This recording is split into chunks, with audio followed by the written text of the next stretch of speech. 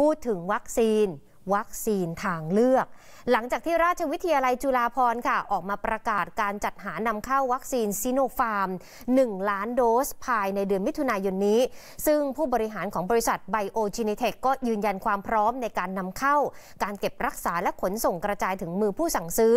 จากนั้นก็จะเจรจาซื้อล็อตต่อไปในเดือนกรกฎาคม แล้วก็สิงหาคมต่อไปนะคะทีนี้อบจหลาย ๆ ที่สนใจอยากจะสั่งซื้อ หลังจากที่อบจนครราชสีมา แล้วก็ปทุมธานีสนใจ อยากจะสั่งซื้อวัคซีนซิโนฟาร์มเอามาให้ประชาชนได้ฉีด ล่าสุดค่ะ นายกอบจชนบุรี คุณวิทยาคุณปลื้ม พร้อมจัดซื้อวัคซีน 500 ล้านบาท แต่ห่วงบอกว่าจะขัดกับระเบียบกระทรวงมหาดไทย จะต้องขออนุญาตหรือว่าต้องปลดล็อกให้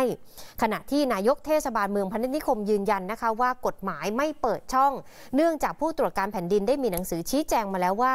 องค์กรปกครองส่วนท้องถิ่นไม่สามารถที่จะจัดซื้อได้